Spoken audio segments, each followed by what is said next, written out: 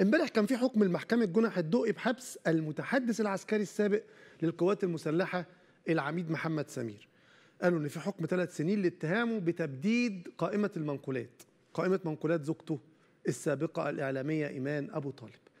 هذا الموضوع أثار جدل كبير جدا على مواقع ال social media وبسبب موقع محمد سمير السابق كمتحدث طبعا باسم القوات المسلحة. تعالوا نشوف الخبر كده مع بعض.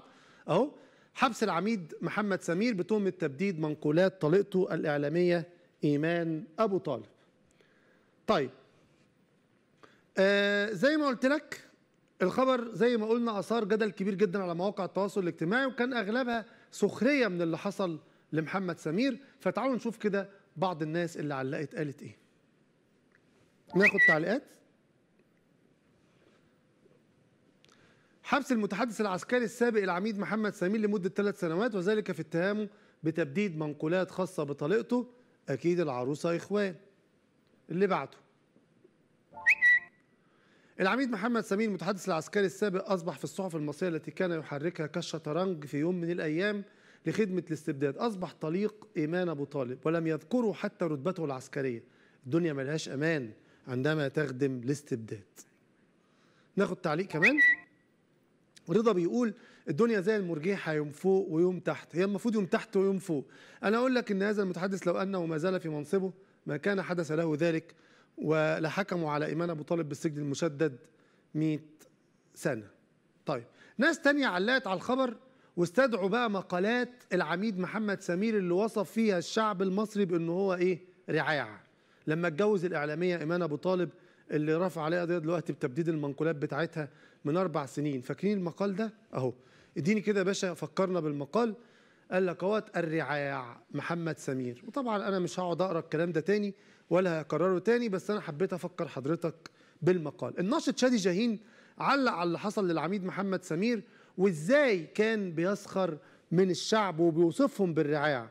وقال في post ليه تعالوا نقرأ كده ال post بتاع شادي. شادي بيقول في 1 مايو كتب العميد محمد سمير المتحدث العسكري الأسبق مقالا في جريدة اليوم السابع بعنوان الرعاع يصف في هذا المقال من علقوا على خبر زواجه للمرة الثالثة في مدة قصيرة أنهم مجرد رعاع وكلاب. وبالأمس حكمت المحكمة بالحبس ثلاث سنوات لمحمد سمير لتبديد منقولات زوجته السابقة إيمان أبو طالب وكانت هي زوجته الثالثة التي كتب مقال الرعاع من أجلها. ما علينا.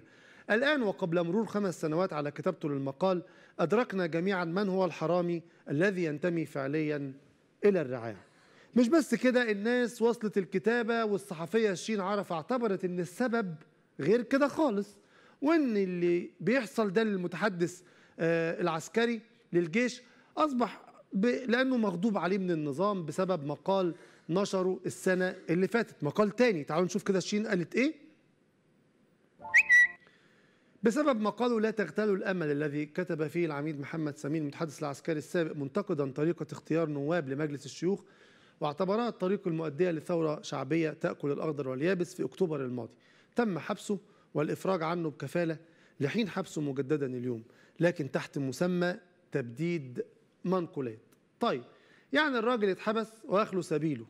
تعالوا بقى نفكركم بالخبر اللي انتشر في أكتوبر 2020 وخبر من الأرشيف جبناه لكم أهو. انزل يا باشا بالخبر. إخلاء سبيل المتحدث العسكري المصري السابق بكفالة 100 ألف جنيه.